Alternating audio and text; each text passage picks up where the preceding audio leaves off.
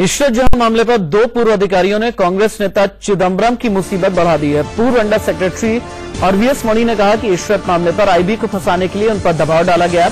उनको काफ़ी परेशान किया गया यहाँ तक कि उनको सिगरेट से भी दागा गया। लश्कर की आतंकी मानी जा रही ईश्वर जहाँ के 12 साल पुराने एनकाउंटर केस में उस तरीके से नया मोड़ आ गया है। पहले यूपीए सरकार ने होम सेक्रेटरी रहे। जी के पिल्लई ने आरोप लगाया कि चिदम्बरम ने उन्हें दरकिनार कर इस केस का एफिडेविट बदलवा दिया और अब आरवीएस मणि के ये नए खुलासे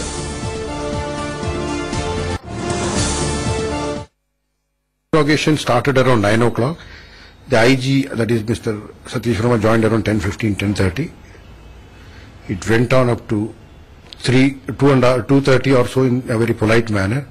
Then he started becoming restive. He started narrating all nonsense. Thereafter he became physical after 4. There was uh, twice he scuffled. He put a cigarette on my thigh.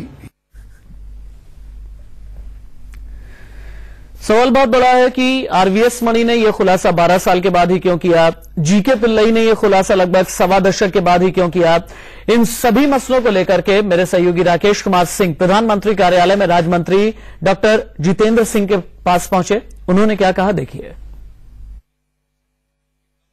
Israt मामले पर लगातार खुलासा हो रहे हैं। हमारे साथ बातचीत करने के लिए पीएमओ राज्य मंत्री डॉक्टर जितेंद्र सिंह हैं। डॉक्टर साहब, जिस तरह से एक अधिकारी ने जो खुलासा किया, उसमें साफ़ तौर पे कहा गया कि जो बातें हैं, वो पूर्व गृह मंत्री पी चिदम्बरम के निर्देश पर किया जा रहा था। हाँ देखिए, दस वर्ष यूपीए के शासनकाल में जो भारतीय जनता पार्टी की ओर से कहा जा रहा था, उसको नकारने का प्रयास किया जा रहा था। अब तथ्य सामने आ गए प्रमाण सामने आ गए। हमारा सदा ये कहना था कि ये एविडेंस बेस्ड युग है।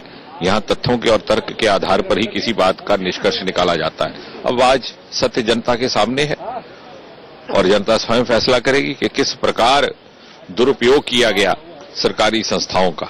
इस पूरे मामले की जाँच होनी चाहिए? निश्चय ही जाँच तो होनी चाहिए।